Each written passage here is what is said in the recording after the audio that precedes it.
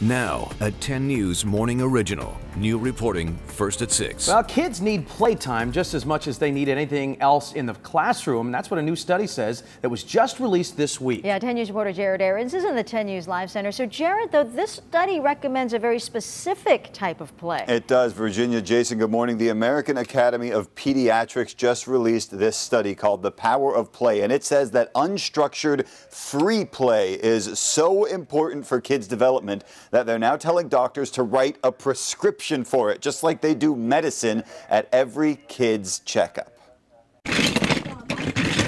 At Rady Hospital's Alexa's Playful Learning Academy for Young Children. You're doing a great job. I like how both of you are working together on this. Free play is a key part of the day.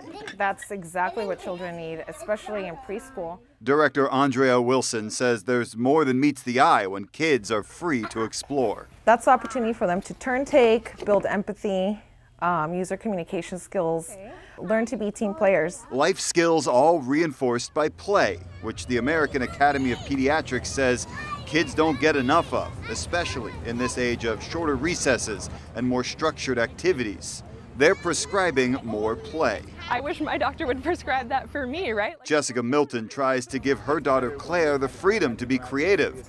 She's usually surprised by the results. It's not how I would put the pieces together, but if I let her do it, she comes up with stuff I would never even have thought of. Experts say parents should give kids choices and let them lead. You can play with this toy or you can play with that toy and then see what they want to do from there. But then also asking a lot of open-ended questions and and pushing that learning with them as well. The study says more play can lead to less stress, better brain development, oh, and a stronger bond with parents. The kids just need a little push, and they can do the rest.